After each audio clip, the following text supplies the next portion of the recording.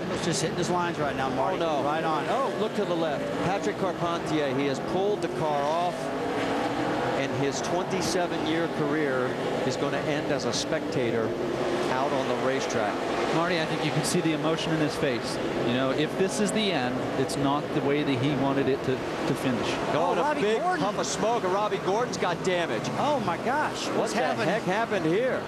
Well, it looks like he made contact. You can see the hood is crinkled up, Yeah. and he may have busted an oil line from the oil cooler, Rusty. Something, uh, Oh, something it's, under it's a hard hit, whatever it is.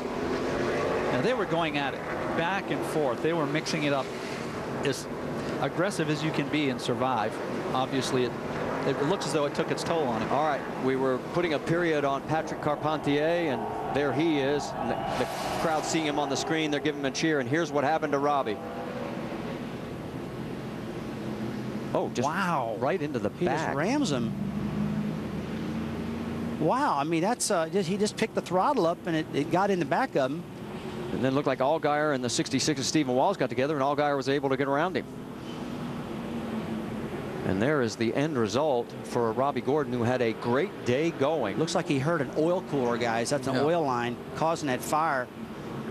And that's exactly where that's located at. So Rusty, Rusty, that's a slow turn. I don't understand that.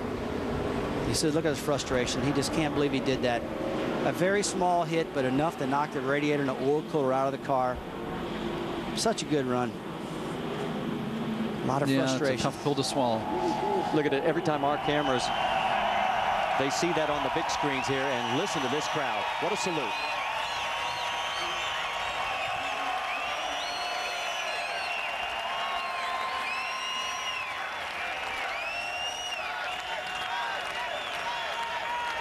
They're chanting Carpentier.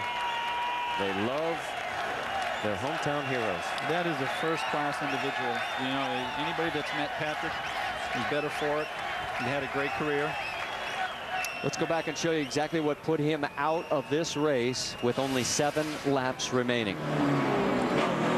Gets underneath or tries to get underneath Danica Patrick. He does not have position.